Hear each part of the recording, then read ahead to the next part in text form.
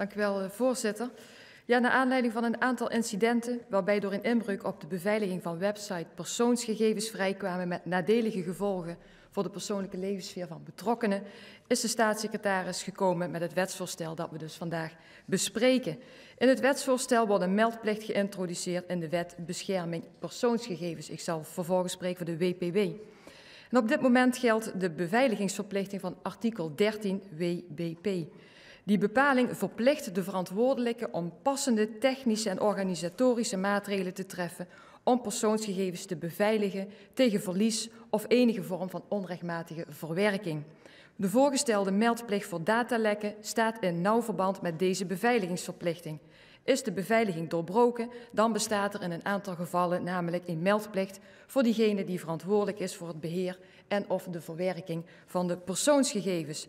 De klemtoon bij deze meldplicht ligt op het lekken van persoonsgegevens als gevolg van beveiligingsproblemen.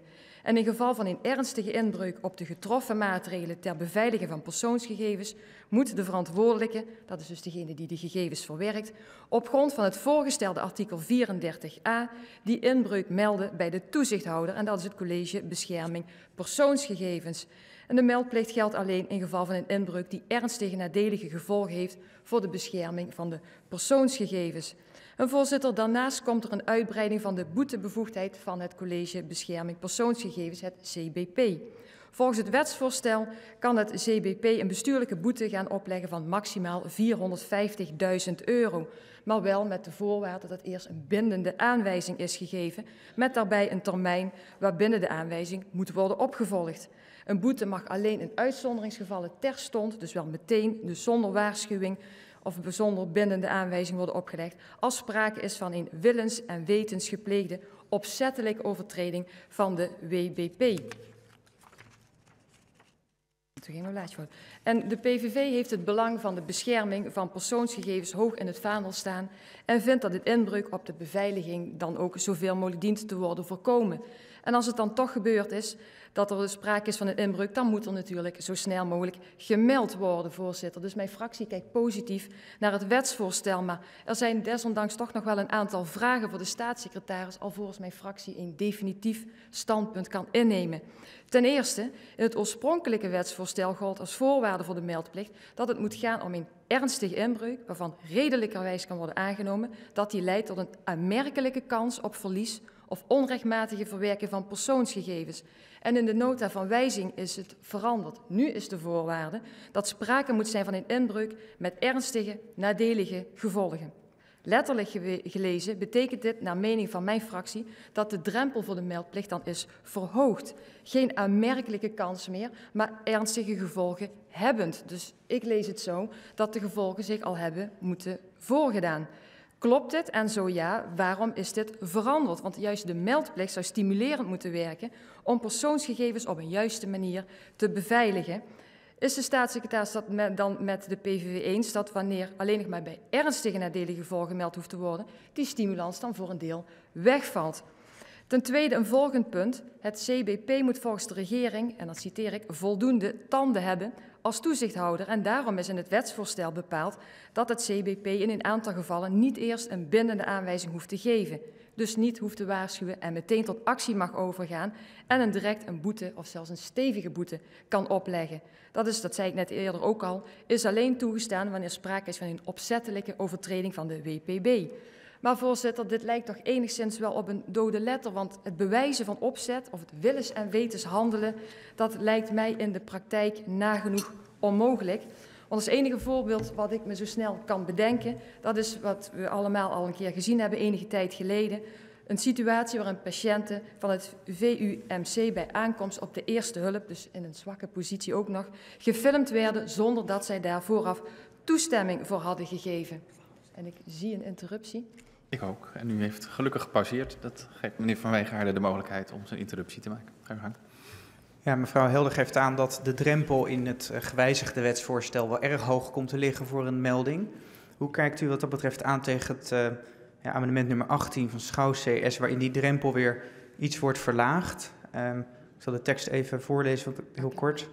Um, dat het moet gaan om een uh, datalek die leidt tot de, de aanzienlijke kans op ernstige nadelige gevolgen dan wel ernstige nadelige gevolgen heeft voor de bescherming van persoonsgegevens. Dus daarin wordt de kans, komt daarin eigenlijk weer terug. Ik was even benieuwd naar haar reactie.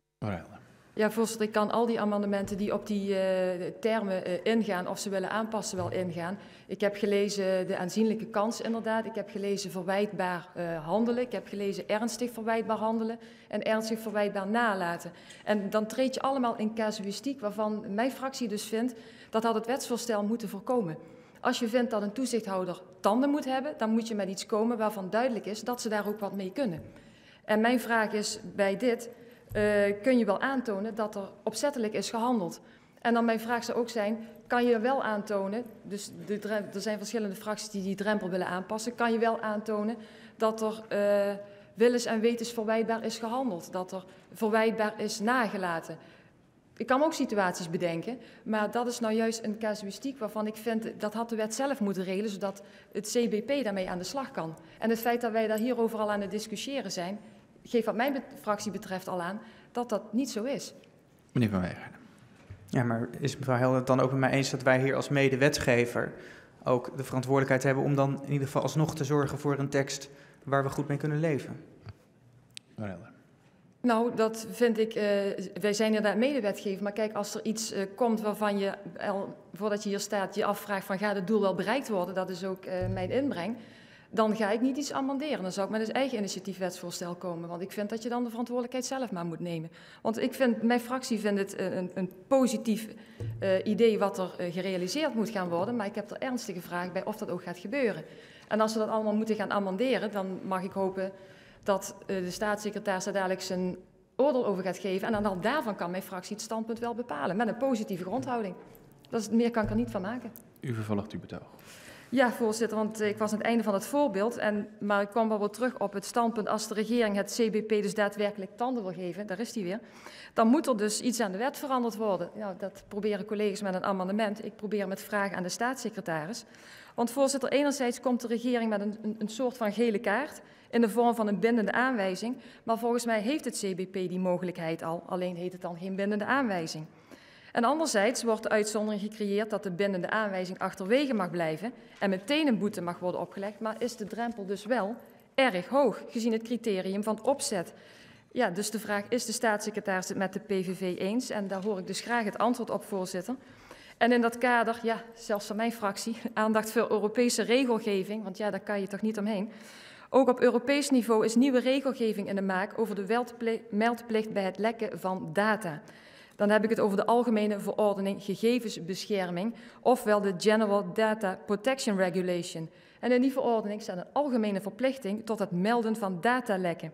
Die verordening heeft rechtstreekse werking, dus dat hoeft niet te worden omgezet in nationale wetgeving en kan dus het wetsvoorstel wat we vandaag bespreken toch enigszins om zeep helpen maar goed, de onderhandelingen voor deze verordening lopen nog.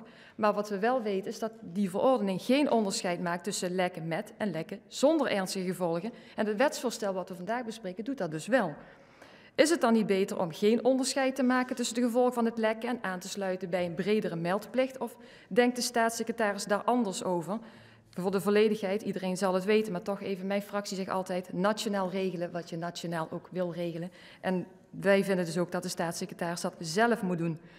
Voorzitter, hoewel de PVV het eens is met de regering dat een toezichthouder dus ook stevig moet kunnen optreden, ik zei dat net al, positieve grondhouding voor het wetsvoorstel, vindt mijn fractie het wel merkwaardig dat het CBP de voorwaarden die hierboven is genoemd, ernstige gevolgen heeft gehad, zelf invult, maar dat het CBP dus ook de instantie is die de boete oplegt. Ofwel norminvulling komt te liggen bij de instantie die ook de sanctie oplegt.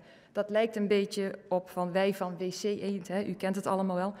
De PVV wil dan ook weten hoe de staatssecretaris hierover denkt. Ziet hij dat gevaar ook? Zo nee, waarom niet?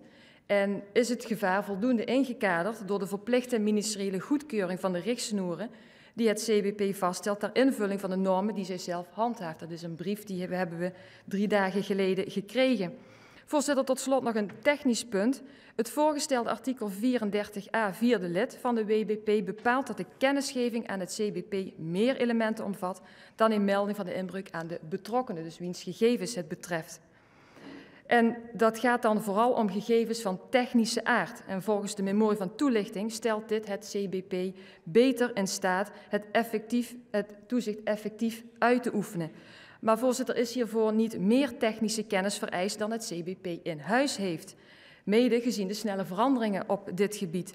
En zo ja, waarom is er dan geen bijstand geregeld door bijvoorbeeld het National Cyber Security Centrum? Als de overheid een toezichthouder met tanden wil, dan moet de overheid natuurlijk ook voor zorgen dat de kennis hiervoor aanwezig is, dan wel goed te raadplegen is op een eenvoudige manier. Is de staatssecretaris dat met de PVV eens? En zo ja, is hij bereid dit dan ook te gaan regelen? En dan rond ik af, voorzitter, met de samenvatting. Want dan kom ik tot de conclusie dat het wetsvoorstel goed bedoeld is, maar dat het duidelijk toch op twee gedachten hinkt meer tanden voor de toezichthouder, maar met de waarschijnlijkheid dat die dus niet voldoende kunnen bijten. Een beetje in de beeldspraak te blijven, ik, doe ook maar een gooi. Dat lijkt een beetje op die tandjes die je opdraait en die stuiteren heel leuk op je tafeltje. Vervolgens vallen ze eraf en iedereen vindt het leuk, maar er is dus niks gebeurd. Behalve dat we even lol hebben gehad. Ja, voorzitter, dat kan natuurlijk niet de bedoeling zijn. Maar goed, het wetsvoorstel kan op sympathie van de PVV rekenen. Ik zeg het nog maar eens, maar ik wacht het antwoord op de vragen met belangstelling af, alvorens een standpunt te bepalen. Dank u wel. Hartelijk dank.